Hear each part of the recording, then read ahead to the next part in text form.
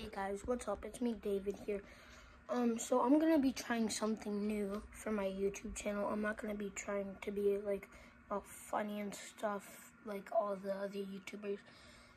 I'm gonna try something new. I'm gonna try sending messages to the world that nobody is alone.